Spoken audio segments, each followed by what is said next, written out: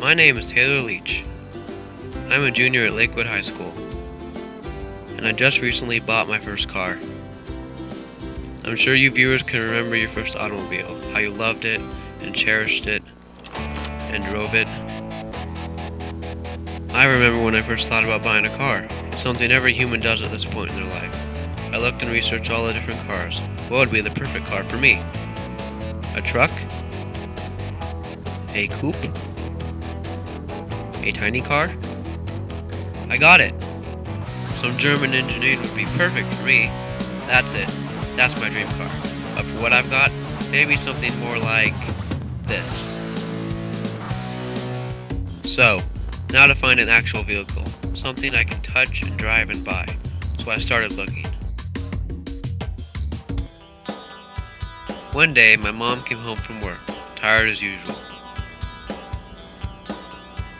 But she spotted me and said, Hey Taylor, I saw a bus for sale over by Zachary's house.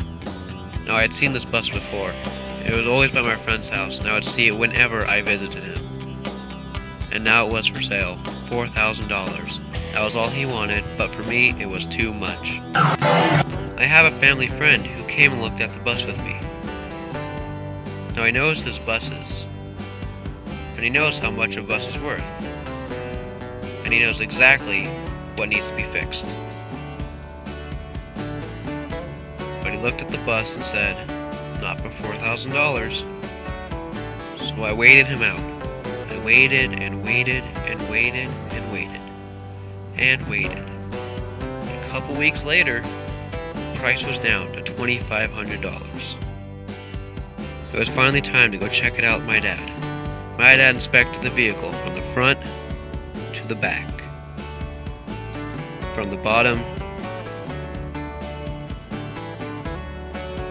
to the top, and the inside.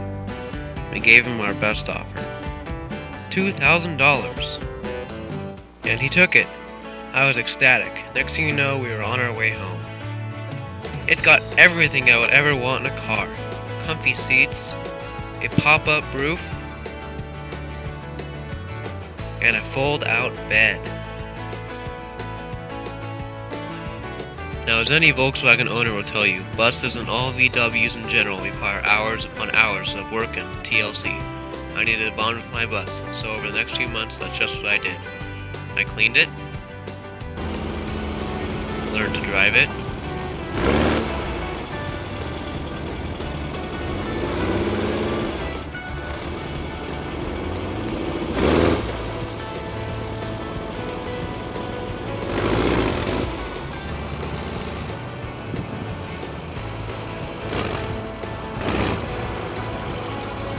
and kept it in working order.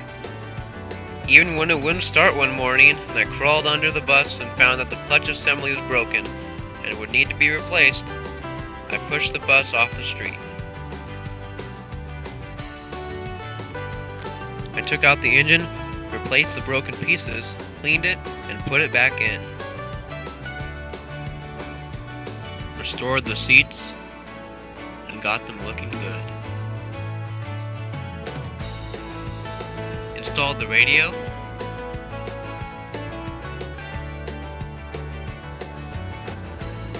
Repairing the rusted floors was the next big step, and with the help of a family friend, we welded in new floor pans. It's been a year now. I got my license and drove my bus every day over summer to work, friends' houses, skate park, and the beach.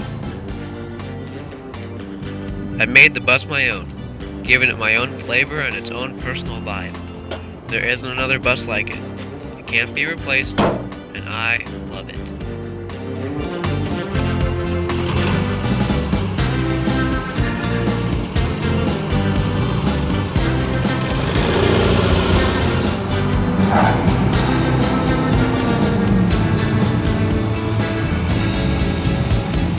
Cool car. Is that a 69 bus? Yes, it is. Oh man, that is the car of my dreams. Hey, you want to trade straight across? No, I think I'll stick with this one. You sure? Yeah, I'm sure. All right, bro. Have a nice day. That's a cool car. You too.